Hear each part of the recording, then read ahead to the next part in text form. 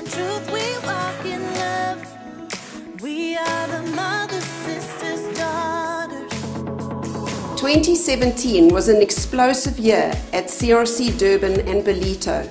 The event was held over two days, with many ladies being encouraged and inspired our ladies also feed hundreds of school children on a weekly basis. They are also instrumental in reaching the poor and needy in targeted areas we really had an explosive She 2017 conference where we saw over 1,200 ladies in attendance and over 70 salvations. We have a quarterly ladies home cell where all the women from the different campuses throughout the Greater Western Cape come together.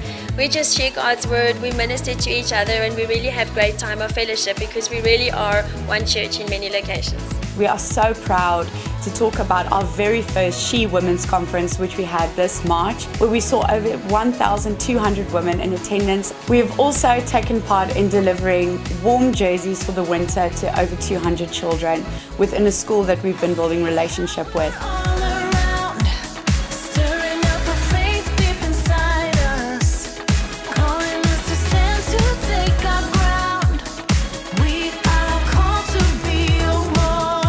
Here in the UK, we love being part of the vision of CRC. We've had great success in our She conference last year and we saw thousands of women come and witness the day, experience the day with us and many women come to salvation. CRC London has finally gotten a foot in a door with schools this is actually nothing short of God's favor and a miracle because it, basically everybody told us that we would not be able to get into a school. But through a teacher, God has opened a door for us and our youth pastor was able to go there and she preached the place on fire and many people came to ask questions afterwards. The Fruits of this conference is phenomenal. We have seen women come into the church being planted, influential women. We have had ambassadors of African countries visiting the CRC church just because they heard about hashtag She Conference in the city. In 2017, it was an explosion in Kathu.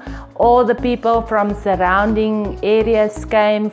We were over 450 in attendance and we have 93 salvations.